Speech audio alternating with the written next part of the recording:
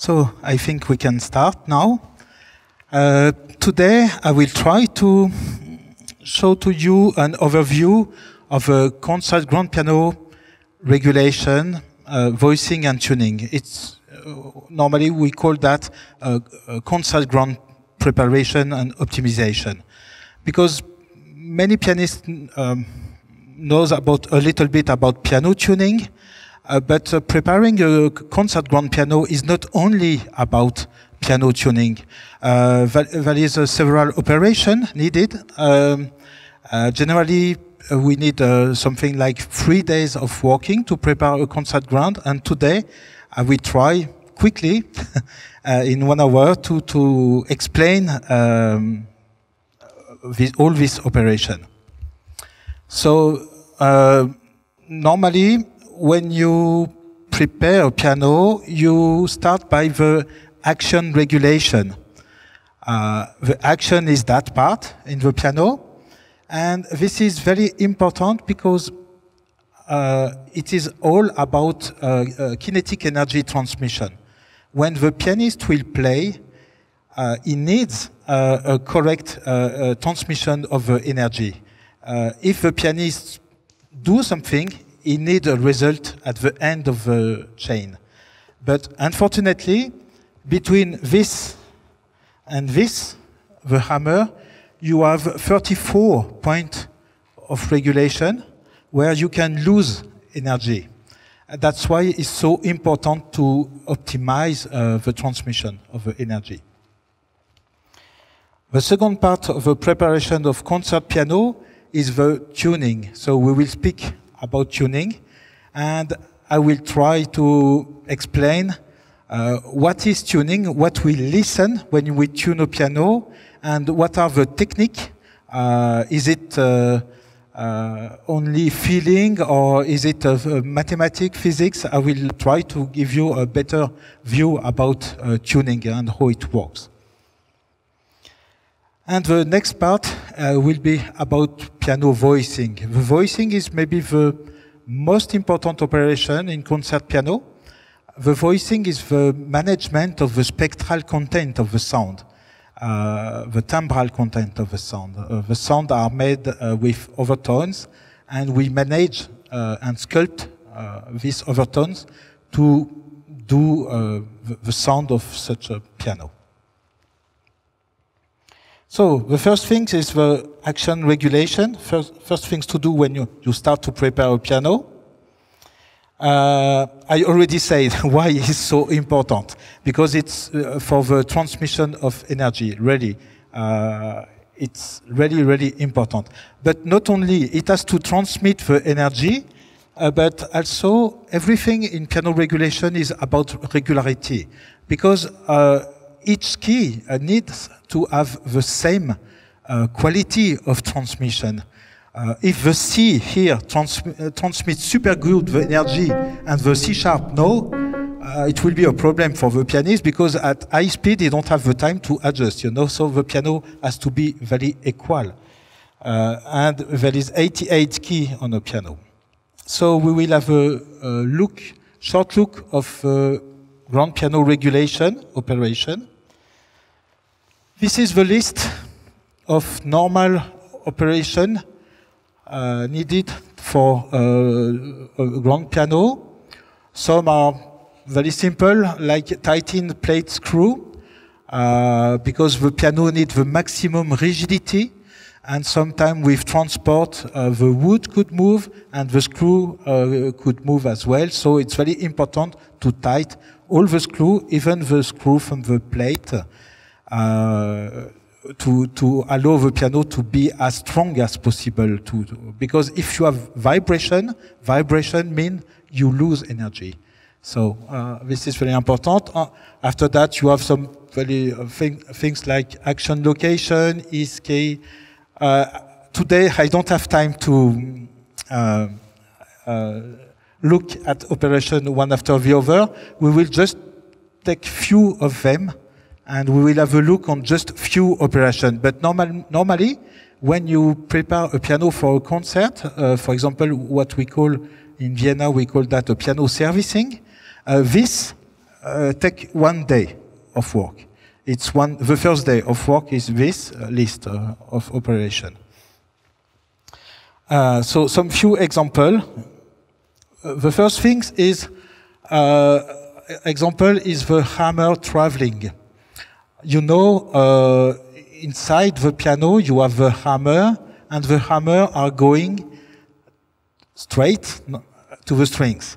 But uh, the problem is about straight because the hammer are made uh, uh, with wood and screw on the action and the wood could move. So uh, with effect of the hygrometry change and uh, temperature change, uh, the hammer could go like that, what we call traveling.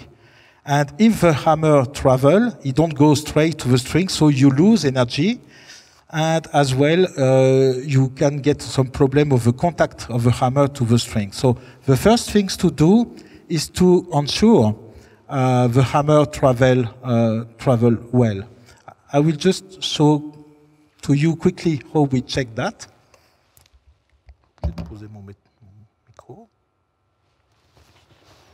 Oops.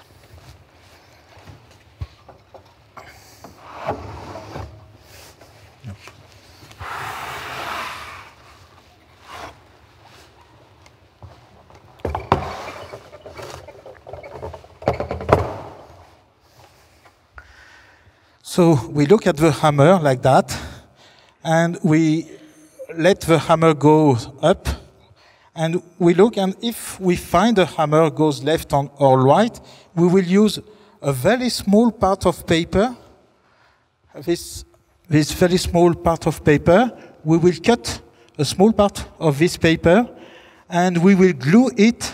I will not do it now because well, the time is short, and we will glue it under uh, the hammer. So it will correct the trajectory of the hammer. So we check all the hammer like that.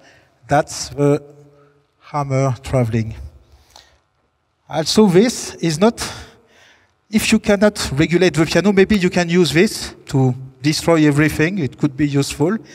but normally, this is useful not for the traveling, but for the angle of the hammer head. Because the hammer could go straight, but possibly the hammer head could be left or right.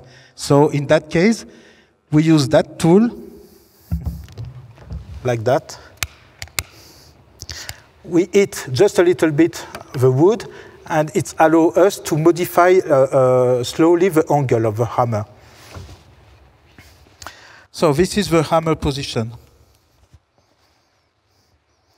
Um, because we move the hammer to put them onto the, uh, the strings, after that, uh, I always speak about energy transmission. We need a straight line. So we have to do a line between the wippen, that part, and the hammer. So once the hammer are on the strings, we do, uh, we align all this part to the hammer to get a perfect transmission of the energy. Naturally, if things are not aligned, you lose energy.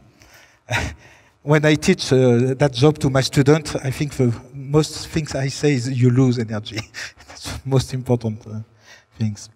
So uh, after that, uh, another example, the jack alignment and the height of the jack. The jack, what is it? Yeah, is this small piece difficult to see here because it's black on black. It is this small piece, and that piece will push up the hammer. Uh, and this has to be absolutely in line with uh, this small wood part in the knuckle. So the small white um, line here uh, allow the technician to, uh, this example is not very good because the regulation is not very good. On that example, the uh, jack is a little bit too much on right because normally this has to be in line with that part. Always the same thing to have a good transmission of energy. So we regulate this, but naturally, uh, jack by jack, key by key, 88 times, always 88 times naturally. And uh, we adjust also the jack height because the jack uh, on the wippen uh, is positioning here, and with the finger we touch it and we feel the distance of the jack from the top of the wippen. And we said uh, the distance has to be equal to uh, a cigarette paper. You know the size of cigarette paper. So uh, we, you feel that with the finger and you check all wippen and you regulate uh, this distance by touch.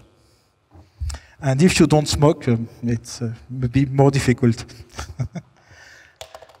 so it's a few examples of regulation. Naturally, value is 24. But another one, very important, uh, the key leveling. Uh, the keyboard has to be straight, naturally, a perfect line, because we will, mm -hmm, yeah, we will uh, regulate uh, the, the keyboard straight, and after that we will manage what we call the key dip. Uh, and for the pianist, the key dip has to be absolutely equal from key to key. Uh, so if you start with a keyboard like a Russian mountain, uh, uh it will be very difficult to get the same uh, sensation for the pianist. So the first things to do is to do a perfectly straight keyboard. So we use a, a ruler and some very small part of paper. Uh, here you can see we glisse some very small part of paper under the keyboard. Uh, this is a, I don't know the size, but 0.01 or 0.2 uh, millimeter. And we adjust the level of each key separately uh, here to get a straight line. Uh, this is the black key uh, checking. We check the height of each black key. And the hammer blow distance. The hammer blow distance is the distance between the hammer to the strings. Uh, today I cannot develop, but this is very important because you have a ratio between the hammer distance and the key dip, naturally. That's a ratio, and it's up to technician to take the decision how we manage this uh, relation between the key dip and the hammer distance. But the hammer distance is generally at 46 millimeter. Okay, this is not so important. The let-off, the let-off uh, is when you play the piano. If you play slowly, uh, when you arrive at 2 millimeter or 1.5 millimeter, depending on the regulation of the strings, the hammer will stop uh, his travel and uh, it will just continue with the speed accumulated. But uh, because if the hammer go to the strings, if we don't have let off, it, it, will stop the sound naturally because it's a mass of felt, and if it touch, uh, if it stay on the strings, naturally the strings cannot vibrate. So the hammer go to the strings, um, knock it uh, very fast, and remove to let the strings uh, vibrate. So this is the let-off regulation. It has to be at 2 millimeter everywhere uh, in the piano. And the key dip, naturally, very important. Uh, we measure with uh, this kind of tool. It's a bit far. Uh, it's a small tool. It, it, uh, the size is 10.1 millimeter. And we use that tool to check from key to key the key dip of the keyboard to have always uh, the same key dip everywhere. And we use some very small punch paper, like for the keyboard level. Uh, we use some very small uh, part of paper to put under the keyboard to get the line absolutely perfect. So finally, the balance raised. This is a very important regulation. The keyframe is in contact with what we call the key bed.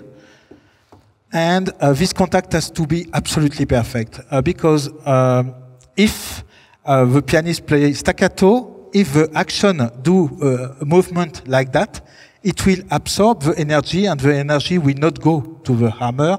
So the pianist will lose some power and, uh, uh, and some transmission. So the, it is very important to do this regulation and I will show to you how we practice that. That's the last regulation.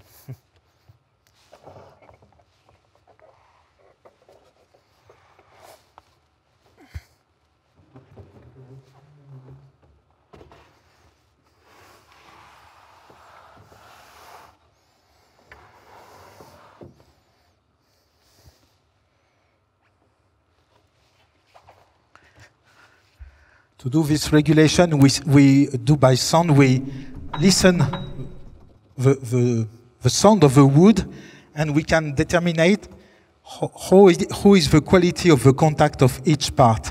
Uh, it needs a lot of year of practice and we listen that, but naturally there is some trick to determine exactly what we are doing, but basically it's by sound.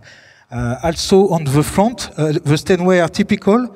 They have always uh, no contact in that part, so you can hear the effect. Here I have a contact. And here I don't have, don't, don't have contact. Listen. You see? This is a lose of energy. But on the Steinway, it's normal. It's typical from Steinway because the action is a curve like that, uh, because the block here will press on this part and will um, press the action to the, to the keybed. So it's typical from Steinway. But it's a good example to let you listen what, what we listen about the wood contact. Good contact, no contact. So that's all for the regulation. Uh, very fast, naturally. One day of working in uh, 15 minutes. now the piano tuning. Uh, the first thing uh, to know about piano tuning is the structure of a piano.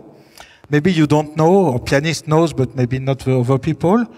Uh, for each key in the piano, you have three strings. Uh, in the treble, medium, uh, and, and here, and on the Steinway, you have three strings as well in the first bass. And finally, you have two strings and one string. But on 90% of the instruments, you have three strings for one key. Uh, that's important because when you tune a piano, you have to manage not only the relation uh, between the interval, but also for each key, you have always three strings, so you, you, have, you have to manage the unison and the precision for each key of unison. Uh, so to prepare for the tuning, naturally, because uh, the first part, what we call the temperament, it has to be very, very, very precise. It's a kind of architectural construction, a mathematical construction.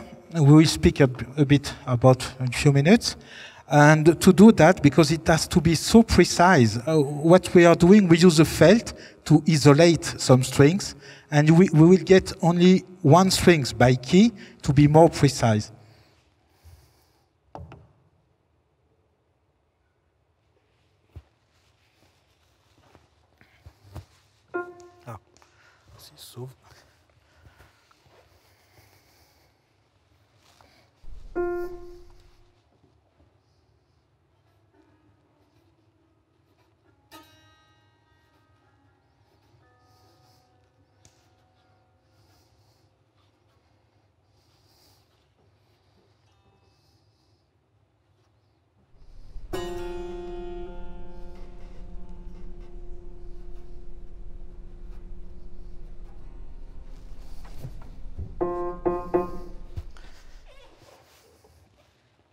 So what I'm doing now, I just put the felt and I just keep one string by key.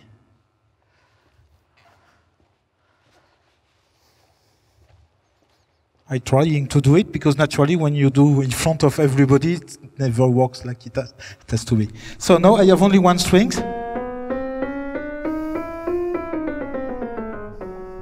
Mm -hmm.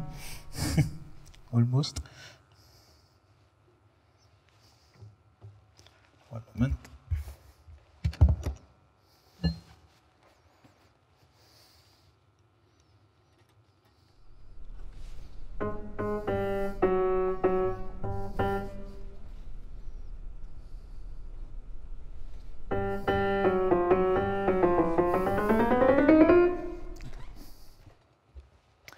So, now we are ready for the tuning. I put this felt and the coins here to get only one strings, to keep only one string. And now, uh, the first thing is what we are listening. When we tune a piano, Uh, is it musical here? What we are listening? So basically, when you have two frequency close uh, one to each other, but not absolutely uh, identic, identical, you will get a beat, uh, and you can hear that beat. Uh, it, it's a wave. so I will try to let you know, listen this. for example, a good interval to listen, it's the tenth. One moment, I, I search one easy to listen. So, this one do wow, wow, wow, wow. Try to listen it.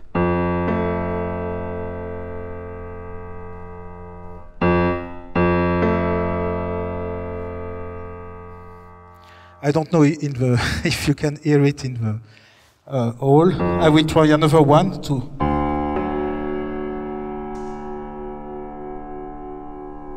Wow, wow, wow, wow, wow, wow, wow.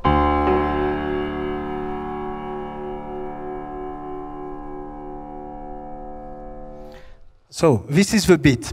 And when we tune a piano, uh, we listen that uh, a lot.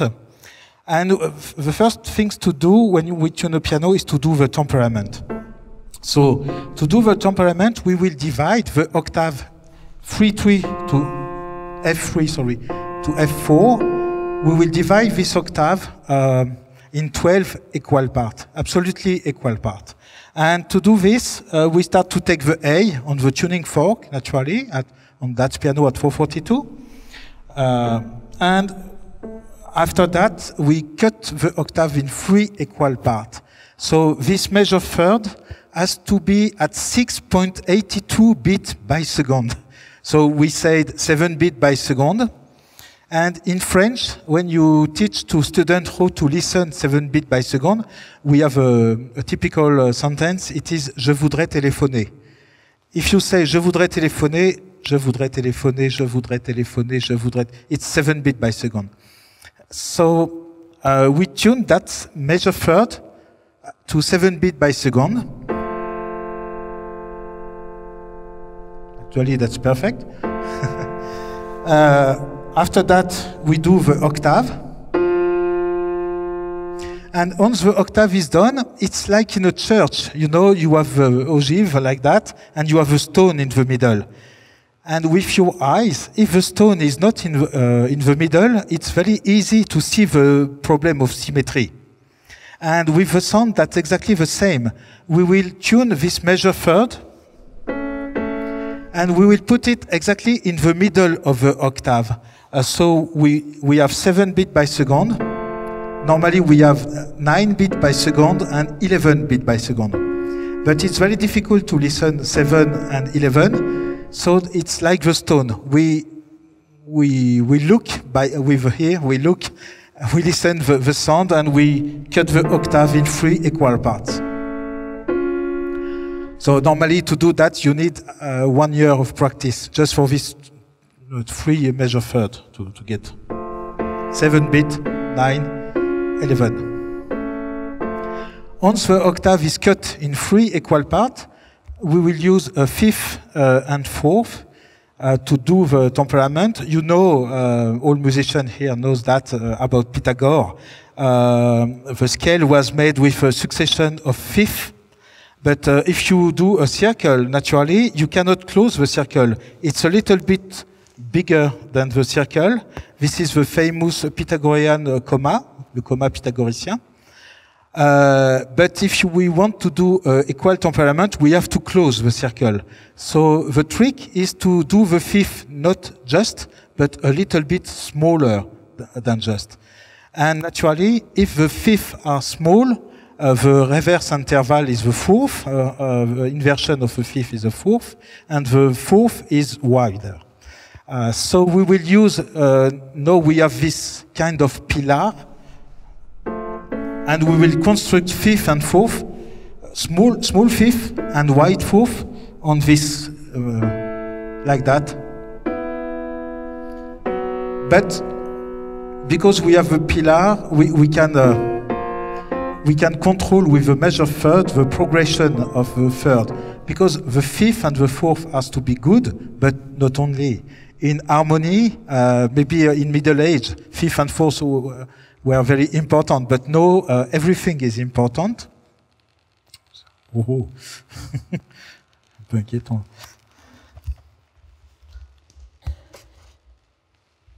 Bon. Pour l'instant, je peux parler. um, so, uh, uh, all the intervals are important, so we can control the progression of the third. The major third has to be progressive. So we, we go from 7 to 11, and each major third has to be a little bit faster than the other.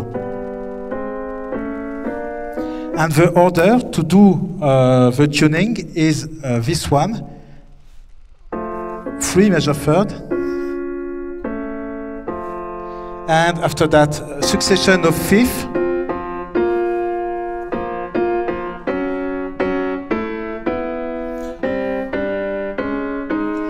And once it's done, we can listen the progression of major third, the progression of six major sixth. The major sixth has to be one beat by second um, faster than the major third.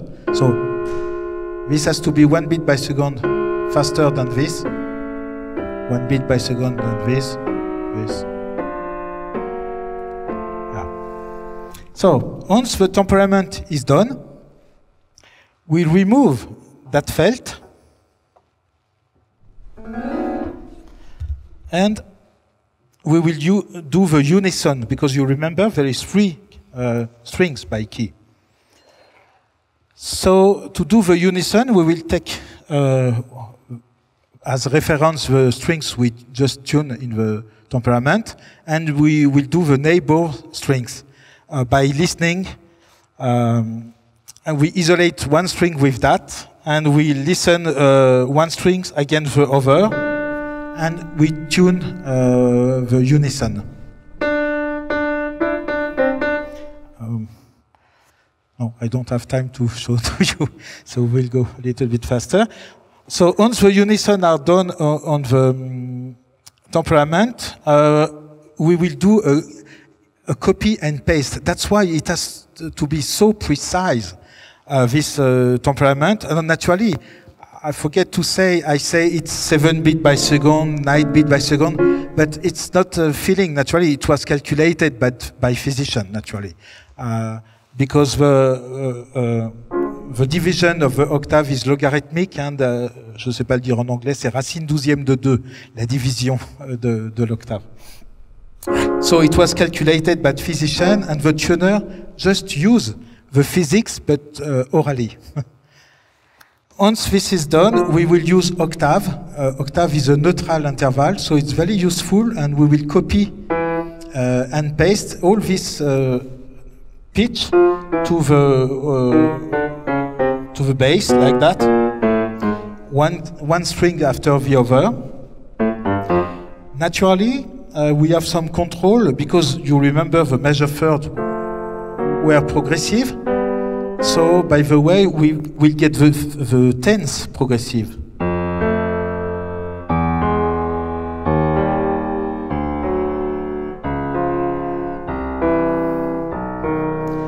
So we have many uh, uh, control like that.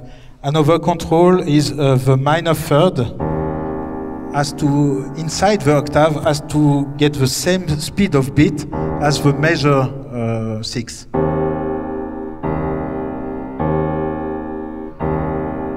For example, this one do. Wow, wow, wow, wow. Wow, wow, wow, wow, wow. So it's a little bit faster. It means my octave is a little bit wide. But that's normal because we stretch the tuning of the piano.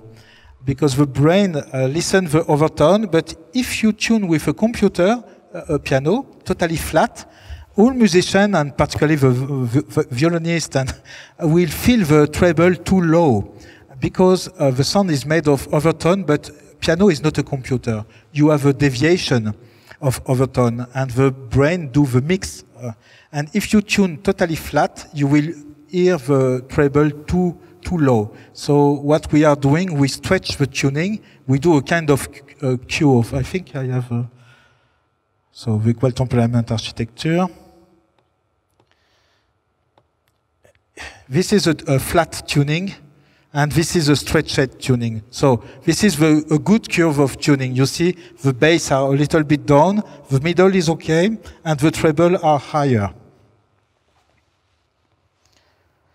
So now I will take a bit of water and we can speak uh, for a last part of this lecture about the voicing.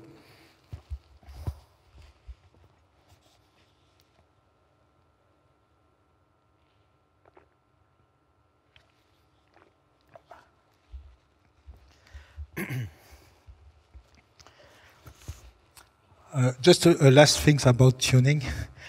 I saw the control in the bass, uh, but a good trick for pianists, but no, uh, all the tuner will, uh, they, they, all want to kill me after, if I show that to people. You can control the octave also uh, by, um, naturally, by octave, double octave, uh, triple octave, but also if you have, for example, that octave, and you want to control it, you can just take the major third below. Wah, wah, wah, wah, wah. Take the speed of the, of the beat and use. And it has to be the same speed.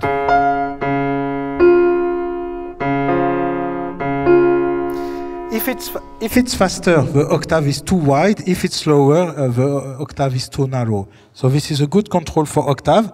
And it's very useful to manage uh, this famous curve I showed to you before, because that's the way we can, we know the shape of the curve by here, because we can, it's like a microscope or a zoom on the sound, we can control octave like that.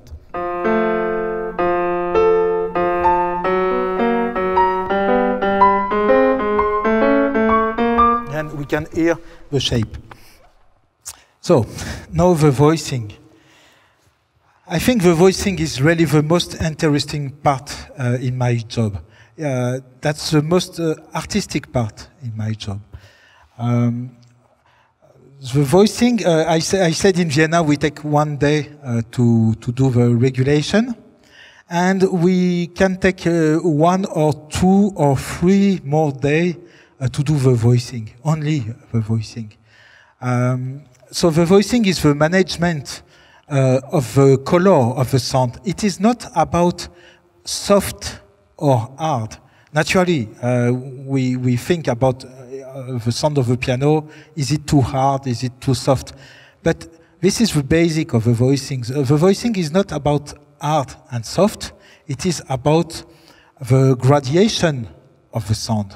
Uh, the sound has to be vivid for the pianist. The pianist want to be able to do something and generally to do some plan uh, of color. For example, in polyphonic uh, music, in a fugue or something like that, when you, if you have full voice, it is good to hear the voice not only because they have a difference in amplitude, in volume, but also because they have a difference in color of, of the sound. And uh, so to do that, we use some technique Uh, on the felt of the hammer, many, many techniques to, to manage the elasticity of the hammer. And I will try to give you an idea of this. So we want a sound, yes, but which sound? That's the question. So we don't want a static sound. We want a sound, sound will move and react to the, to the demand of the pianist. Uh, one important notion is the notion of uh, sound efficiency. Uh, that's why uh, you, you play pianissimo, so the piano has to, to, to, to sing really soft. But if you start to, to hurt the piano, it needs to be able to cry. So you have a first step like that. And after that, a little bit more, more, and now a lot of overtone in the fortissimo, the color change. You hear the spectra uh, change in color.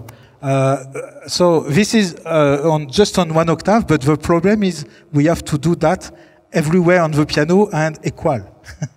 Uh, it has to be the same everywhere. So this is uh, what we try to do with voicing. Uh, so, les paliers sonores, the, the sound gradient, it is what I just showed to you now. Uh, and we, we speak about uh, sound gradient, color, but where, where it come from, uh, this color? What is it? Uh, because it's good to speak about color, but what is color in the sound of a piano? And the color are in fact overtones, or harmonics, or partial. So I will use other overtones today to speak about them. So uh, when you play a C, your brain uh, hear a C and say, okay, that's a C, a C1. Uh, but in fact, the color of that sound uh, is made by the internal content of the sound. When you play a C, in fact, you, you, you, your brain do the mix, but inside that sound you have this. Uh, overtone uh, chain. And this do uh, the, the amplitude of each of these overtone inside the C define the characteristic of the sound. That's why if you listen a flute uh, play a, a C5, uh, you say, okay, that's a flute. And if a trumpet play the same uh, uh, pitch, that's the same pitch.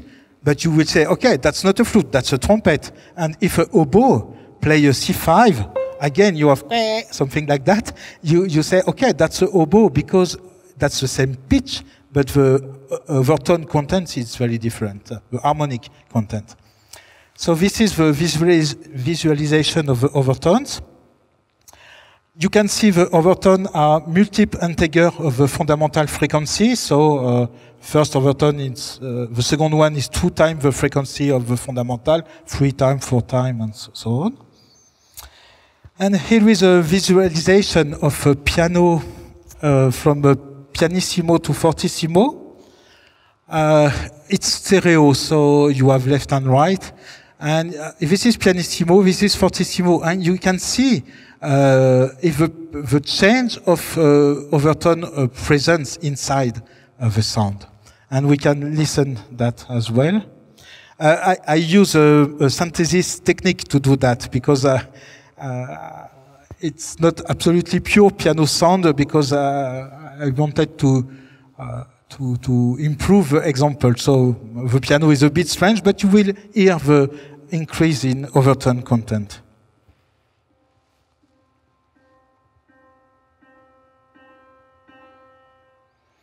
Like on the piano, you, you listen the change of color uh, into the sound. So this is a, a, spectral visualization of the C3. And you see the fundamental is very big. Uh, this is the, uh, the amplitude, in fact. This is the frequency, and the size of uh, the line are, is the amplitude. And you can see uh, you, you, we have less and less amplitude in the high uh, overtone. But the fundamental and, and first uh, overtone are very strong on this C3. Here you can have a, a 3D visualization of the same sound, and you can see the fundamental. And what is interesting in that sound is the second overtone is much more prominent than the first one. So that's a characteristic of that sound. So I made a small um, a bit of programming to, to let you uh, listen the overtone uh, artificially. So I will use a, a this is a sinus, sinusoid uh, signal, so that's a pure tone, in fact, and we will add overtone one after the other, so you will hear the overtone. But in the nature, the overtone are always different in amplitude. But in this example, uh, all overtone have the same amplitude, so you will listen clearly what is overtone. So this is the fundamental frequency.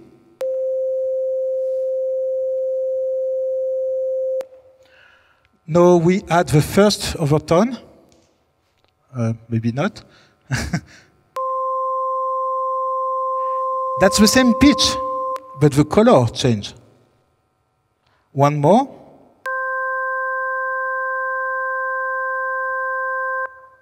One more. Fifth overtone. six, seven, eight. I stop here, but naturally in the piano and in musical instrument, you have a, a lot of, of overtone. But you, you, you, you get the idea of the color of the sound. And so now, as a piano technician, uh, I will need to, to change that. But first, just a few more examples. The flute, you see the spectra of the flute. Uh, this is more fluctuant and that's the typical sound of a flute. The same pitch, but different uh, sound color. And you can see here, uh, fundamental is very present, but moving a lot, and the second overtone as well. Comparing this to the trumpet, a huge difference uh, in amplitude. First and second overtone are very, very strong and very well defined. And you can see in the 3D representation, the fundamental and the second uh, overtone are very strong. And the last example is the oboe. And here it's very interesting because the oboe have a so typical uh, sound and uh, you see al almost no fundamental, but uh, mainly the second and uh, more uh, intensive is the third overtone in amplitude. So that's the typical um, uh, sound shape of a oboe spectra. And as you can see, the first overtone, the fundamental, is very low. The second one, uh, low, but the third one, uh, very prominent. That's why you have this kind of nasal sound uh, into the oboe. So now the piano. Uh, how we manage that? We will. Uh, one moment. I have to go fast. we, we, will uh, change the piano sound. I will not do this part because I'm a little bit late. I change artificially the sound of piano, adding some overtone, but yeah, we will we will go. Um, so how we will change that? Uh, the first things, like I said uh, at first, is the um, regulation. Uh, if we change a small regulation, we can change the sound of the piano because we, we change the speed of a hammer. If we change the speed of a hammer, we change the overtone content. I have a, a, a simple example. I will just tight a screw on the Steinway and you will try to listen the difference. It just change the pressure on the screw and listen the color of the sound.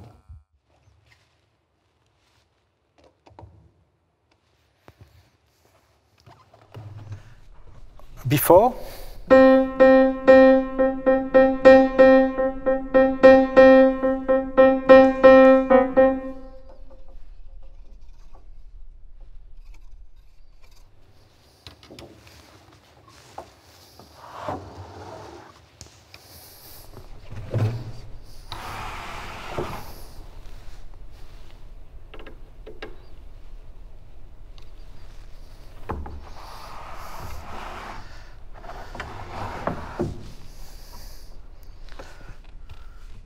After. You can compare to the neighbor. I think here in the room, more projection, more power, more color, more fortissimo. I just tight the screw.